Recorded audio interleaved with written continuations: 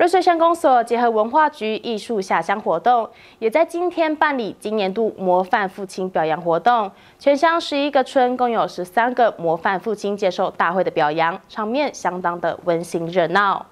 来，给我一点天。瑞穗乡父亲节庆祝活动由县文化局艺术下乡活动演出来暖场，不论是魔术表演还是折气球，全场气氛嗨到最高点，也让父亲们难得轻松附庸风雅一番。一下想看，一下不想看，你们到底想不想看？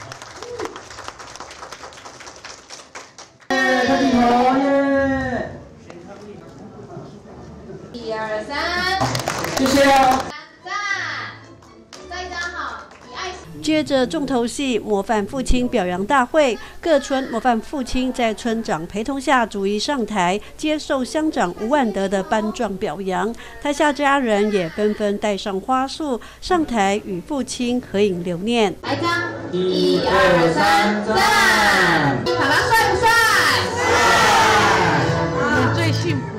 随着社会教育风气的转变，现代人也都渐渐开始勇于表达对父亲、儿女以及亲友的爱与感谢。也因此，今年首度有模范父亲代表以及家人上台分享这份喜悦与荣耀，现场气氛温馨。这是本来的事情，应该就要做的事情。但是今天背着这个红是红背带，真的有一点沉重啊！我还不是到那个阶段，但是。乡长的一直提拔，但是那里面是充满着爱哦，充满着爱，就是希望我们小孩子能够做一个社会上有用的人啊，不要去呃危害到呃社会。那这个部分就是呃我们我的爸爸，我的爸爸，我想天下的爸爸呃都有爱，都非常的认真哈。那在这边也要祝福我们呃所有的父亲啊，父亲节快乐。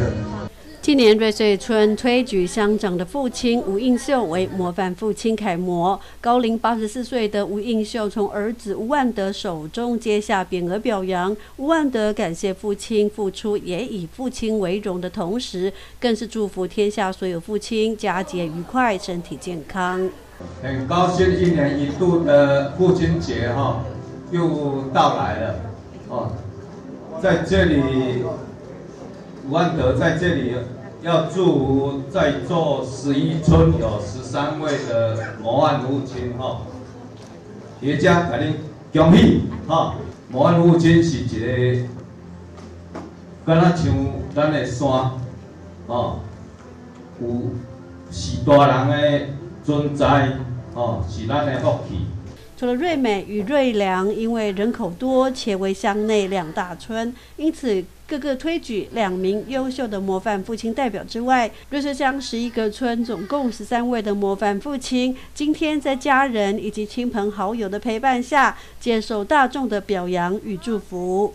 记者石玉兰，瑞穗采访报道。